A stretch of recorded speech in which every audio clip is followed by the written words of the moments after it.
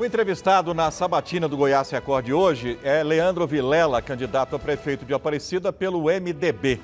Lembrando que a entrevista tem duração de 10 minutos e o candidato tem o tempo máximo de dois para responder a cada pergunta. Pode responder em menos também.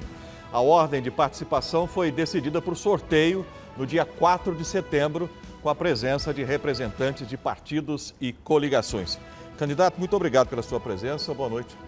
Boa noite, Carlos Magno. Boa noite a todos os telespectadores, a todos os aparecidenses. Obrigado a cada um pela audiência.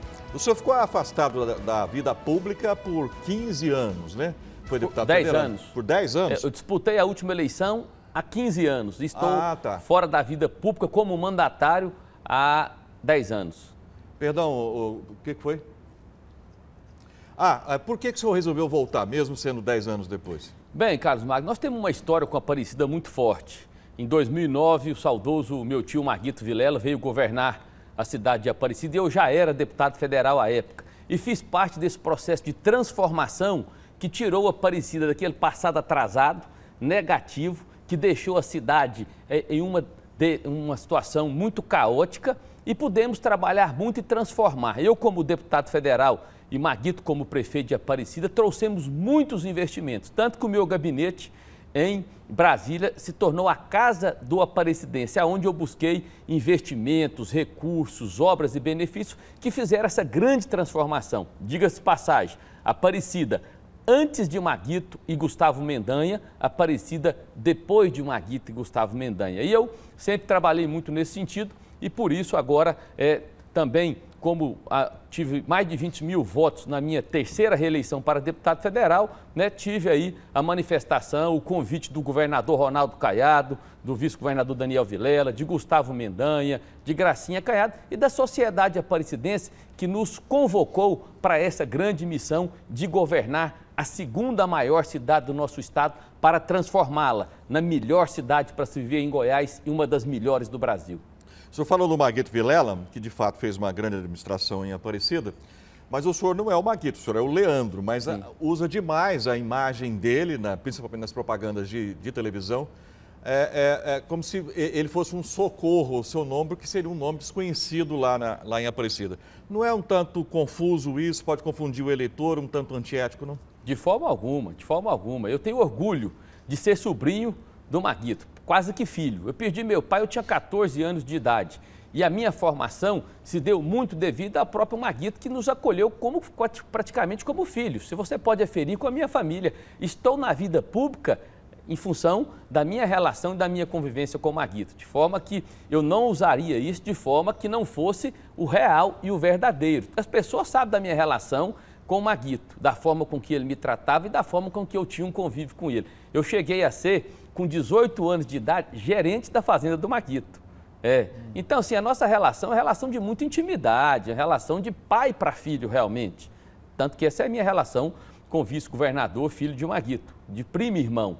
Então, Carlos, não tenha dúvida de que a nossa missão por Aparecida é honrar o legado de Maguito, é honrar o apoio do governador Ronaldo Caiado, do Gustavo Mendanha, da Dona Gracinha, do Daniel Vilela. Esse é o meu time. Eu estou me apresentando com o time que eu tenho, diferente do candidato Alcides, que não vem no debate, que foge da sabatina, que foge da entrevista, que foge de olhar no seu olho, telespectador e aparecidense, assumir compromissos. Quem faz isso, como é que ele vai governar sem conversar com as pessoas, sem receber as pessoas, sem entender as pessoas? Então, é o meu compromisso é com você, aparecidense, é com a cidade de Aparecida, naquilo que eu já fiz que nós já fizemos 28 postos de saúde, enquanto a cidade só tinha nove, nós trouxemos de Brasília como deputado federal, três UPAs, uma no Parque Flamboyant, Buriti Sereno e Brasicom. O Hospital HMAP é recursos do deputado federal Leandro Vilela, que trouxemos quando deputado federal eu era é, Maguito construiu, Gustavo equipou, mobiliou e colocou sob a gestão do Hospital Israelita Albert Einstein, melhor gestão pública hospitalar do Brasil. Os eixos estruturantes, 115 bairros pavimentados, enfim, uma série de benefícios. Para essa pergunta, candidata, o tempo acabou. O senhor citou o professor Alcides, que de fato não tem ido a debates e, nem participado de entrevistas, mas lidera as pesquisas de intenção de voto. O que, que explica isso? Ele estava sozinho. Ele estava sozinho não tinha candidatura.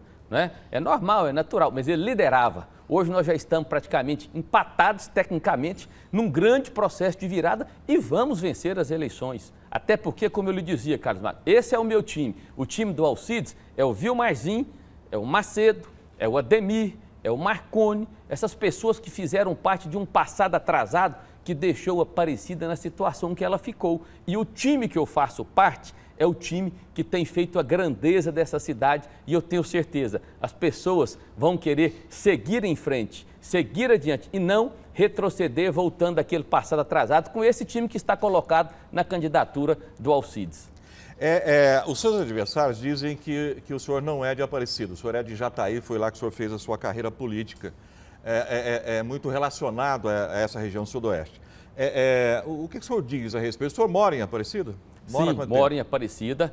veja bem, a minha relação com Aparecida ela começa em 2009 uma relação forte e intensa. Eu nasci sim em Jataí e não nego as minhas origens. Aonde que o Alcides nasceu? Porque é ele que está dizendo, ele nasceu em Remanso, na Bahia. Inclusive, 80% do patrimônio dele declarado lá no TRE, confere lá, é em Remanso, na Bahia. Então, ele usa Aparecida, ele ganha na faculdade dele aqui, em Aparecida, e leva para Remanso, diferente. Então, o que eu estou dizendo para você é que quem nasce em um lugar não nega suas origens. Eu sou decente e não fiz isso. Nenhum ex-prefeito nasceu em Aparecida. Você sabia disso? Nenhum ex-prefeito. O Vilmar não nasceu, o Gustavo não nasceu, o Maguito, que foi o melhor prefeito da história da cidade, não nasceu.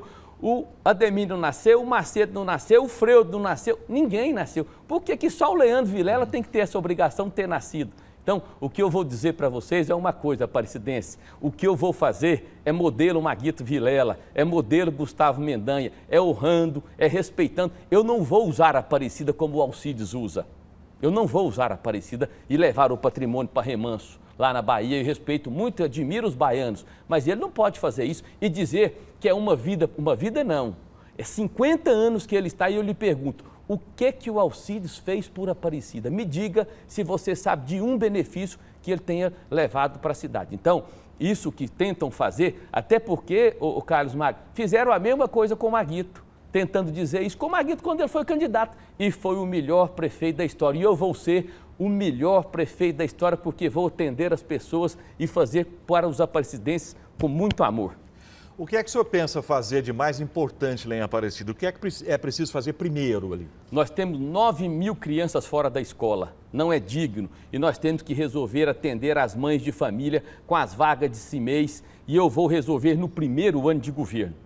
Lugar de criança é na escola. E as mães terão a oportunidade em respeito às mulheres, em dignidade, para que possa deixar os seus filhos ir trabalhar, aumentar a sua renda familiar e melhorar sua qualidade de vida. Vou pavimentar, deixar 100% da cidade, das ruas habitadas, ainda não pavimentadas, pavimentadas. Faltam 47 bairros, alguns parciais, outros totais. O maior deles é o Buriti Sereno e tantos outros, todas as ruas não pavimentadas serão pavimentadas. Substituir toda a iluminação pública de Aparecida ainda é vapor de sódio. Hoje nem substituição de lâmpada eles fazem, vou trocar tudo, colocar tudo de LED, trazendo segurança, economicidade embelezamento. A segurança pública vai ser padrão governador Ronaldo Caiado. Nós vamos atuar de forma integrada, fazendo com que as forças de segurança atuem juntos em defesa do cidadão. Aqui em Aparecida, bandido não vai ter vez não. Aqui quem vai ter vez é a população de bem. É, então vai ser padrão governador Ronaldo Caiado, que eu tenho muito orgulho de receber o apoio, a confiança do melhor governador do Brasil. Por que, que o governador Ronaldo Caiado nos apoia e não apoia Alcides? Por quê? Porque confia em nós, porque sabe que ele não é digno. É, está aí, está aí. Um homem que acabou de ser demitido porque é, é, ficou recebendo 35 anos sem trabalhar ainda diz que é professor, ele devia respeitar os professores. Então, Carlos Magno, essas ações, bem como desburocratizar a máquina pública da prefeitura, é, melhorar em todos os aspectos, a cidade de Aparecida será pauta prioridade do nosso governo. Eu estava vendo a sua propaganda política agora há pouco na televisão, né? O senhor fala de 5 mil casas a custo zero para a população. Mas custo zero como? Dinheiro da onde? Sim, com tantos vazios urbanos, da GEAB na parceria com o governador Ronaldo Caiado, do governo federal do Minha Casa Minha Vida, que vou buscar. E nós vamos sim dar essa dignidade para as famílias que não estão. São 40 mil a necessidade de casas, em, em, a deficiência de casas em Aparecida. E na saúde também, nós vamos atuar muito humanizando o tratamento. Eu vou para os bairros, eu vou para as UPAs, eu vou para as UBSs, eu vou acompanhar de perto como está o atendimento à saúde e nós vamos humanizar fazendo um grande atendimento na saúde pública à população da nossa cidade de Aparecida. Candidato, o tempo está acabando, o senhor tem aí pouco mais de 30 segundos para um recado final para o seu eleitor. Carlos Magno, obrigado a você, a Record pela oportunidade e a você, Aparecidense, caro eleitor, estarei e vou trabalhar muito 24 horas com respeito, com responsabilidade, assim vai ser o nosso governo. Por isso, peço o seu voto de confiança, Vilela 15, para governar a segunda maior cidade deste estado e vai ser a melhor cidade para se viver no nosso estado. Contem comigo, é assim, com respeito, com honestidade e participando de todas as discussões das cidades que nós vamos governar. Muito obrigado. Candidato, muito obrigado pela, pela entrevista. Boa obrigado. sorte aí na campanha. Obrigado, Carlos Mário. Obrigado a todos os telespectadores que nos acompanham. Nayara.